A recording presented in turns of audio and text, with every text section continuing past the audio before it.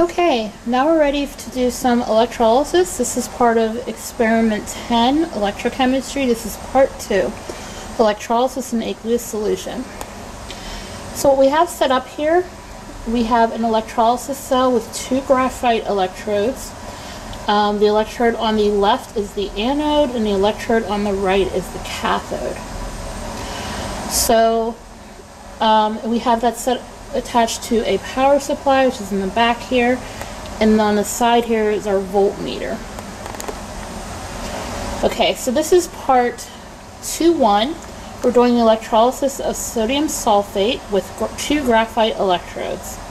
So the first part here is we're going to do a little bit of electrolysis for about 30 seconds to a minute. Alright, so I'm going to reach back here and turn on the power supply. Let's see what happens. you can see some bubbling coming off of both of the electrodes. It looks like the cathode has a little bit more bubbling than the anodes, bubbling about twice as fast, which is pretty interesting.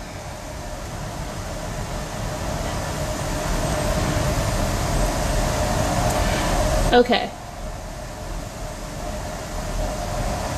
So now what we're going to do, we're going to turn off the power supply for a moment here.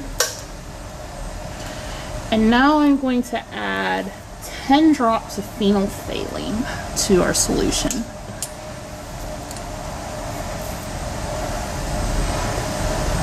One, two, three, four, five, six, seven, eight, nine, ten. So we see it's turned the solution pink, but only really on the cathode section. I'm going to turn our power supply on back on for a second here. So we see some electrolysis and it's definitely, the pink is definitely coming from that cathode there.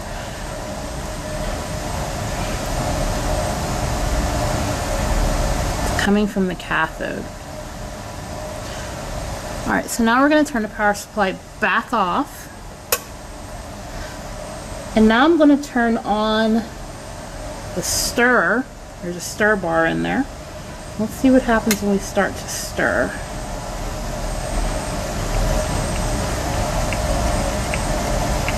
Okay, so we're stirring, and look at that. The pink is disappearing.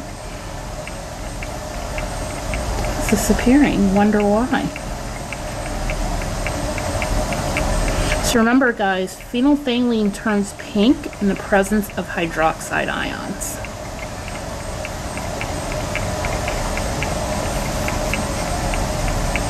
Alright, so now we're going to do the same, oops. So now we're going to do the same things here, but this time I'm going to put a piece of filter paper in between the two electrodes. So I'm going to create a little wall there. So let's, okay, there we go. Alright, so now let's turn on the power supply.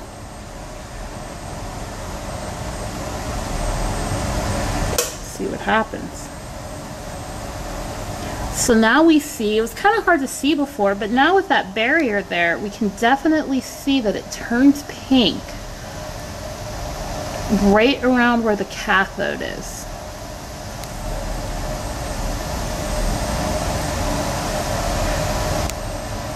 Alright, so let me turn my electrolysis off. I'm to remove the barrier. And now let's stir again to see what happens, just kind of confirm things. And look at that. Dis pink color disappears again. Pretty interesting, right? Okay. So now we're going to do some switching here. We're going to try to do some switching. Okay, so I'm going to set the camera over here on my makeshift camera stand. And now I am going to get this cell out of the way. To get ready for part 2-2. So this time, I'll show you guys in a second, we're going to have a graphite anode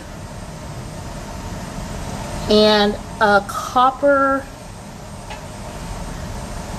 cathode.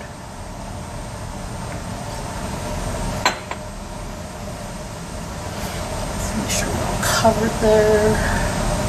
Okay, now for the tricky part. Our power supply leads again. Good piece of electrical safety, always make your manipulations when the power is off.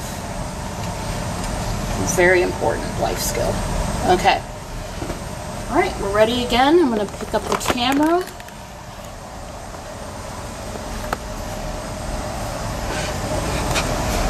So now, as you can see here, I, the anode is now copper, and the cathode, I'm sorry, the cathode is copper, the anode it is graphite. Um, and I poured some sodium sulfate in. Add a little tiny bit more. All right, there we go. All right, so now let's do our electrolysis again. Okay. I'm turn on the power supply. See what happens here. So we have some bubbling coming off of the cathode, the copper. There's also some bubbling coming off of the anode there. Looks like the cathode is bubbling about twice as fast as the anode. Alright. Looks about the same as the last cell we tried. So let's turn off our power supply again. Let's add the phenolphthalein. One, two, three, four, five, six, seven, eight, nine, ten. Looks like it's turning pink again.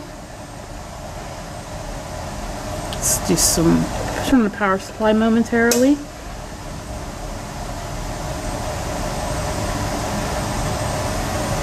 Okay.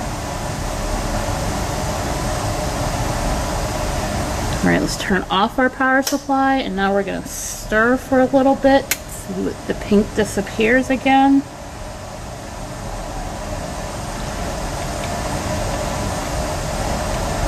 Looks like it does. Pink is disappearing.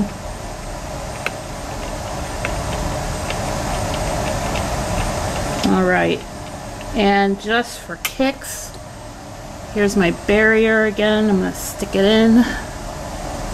A little wet now. So remember the barrier is separating the cathode from the anode. So let's see where that pink color is really coming from.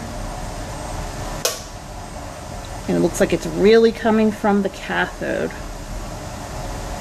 It's really coming from the cathode there. And to confirm, let's turn the power supply off, take out the barrier, and stir again.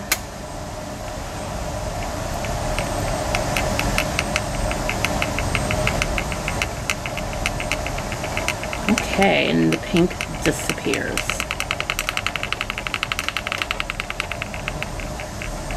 Okay. All right. So it looks like for part two, three, when we replace the graphite cathode with the copper cathode, we get about the same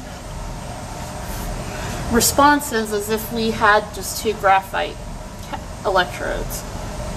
All right, so let's now move to our next one.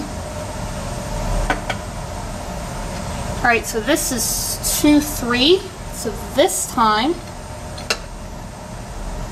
we are going to let the copper be the um, anode. The copper will be the anode and we'll have a graphite cathode. So let's get the leads back on here.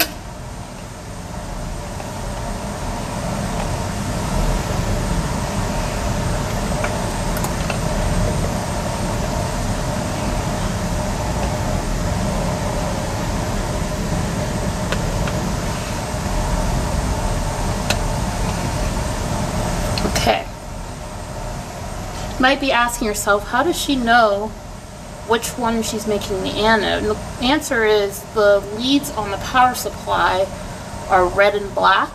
So red for your anode and black for the cathode.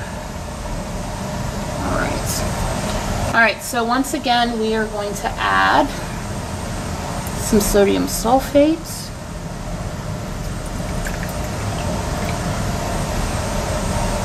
All right, so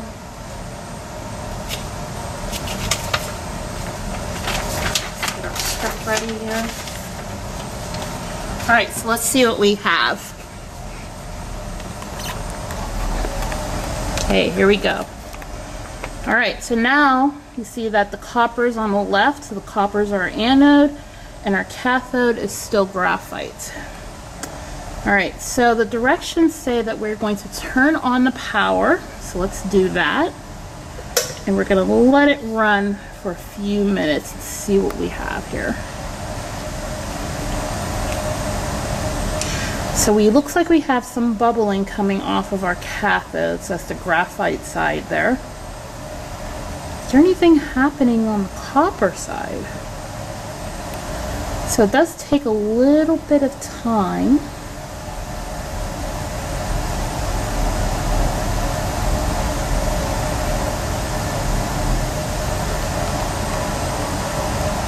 So we're going to wait. Science waiting is something that we do quite a bit.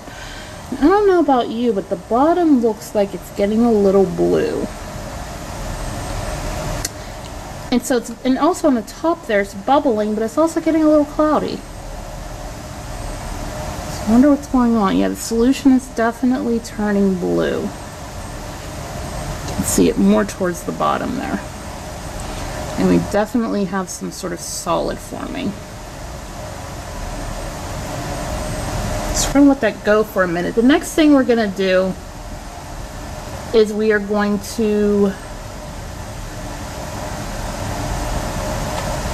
turn on the stirring and see what we get. We're going to let this go for about a minute more.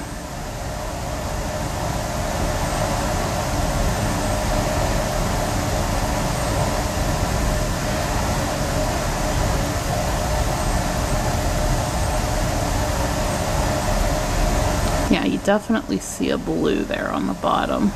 And there's some cloudiness on the top, a lot of bubbling coming off of the cathode, but some blue on the bottom. I wonder what's causing that blue color. It's pretty interesting. All right, let's turn on the stirring for a little bit. See if anything different happens from stirring.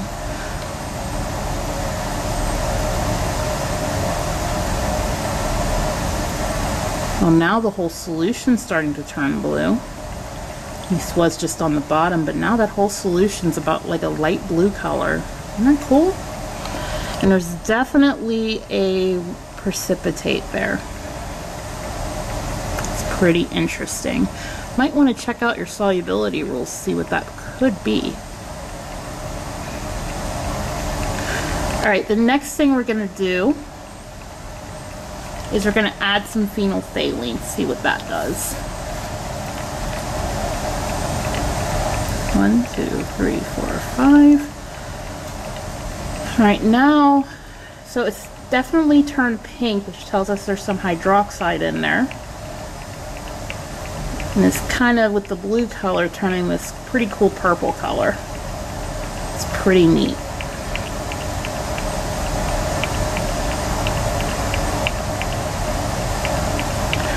All right, so there you go. There's some electrolysis um, of some sodium sulfate with different electrodes. And we can see here that, you know, if you change what the anode is, you can cause some different chemistry. And it'll be up to you to take a look at those standard reduction potentials and half reactions to see what exactly is going on there. Okay, and we're clear.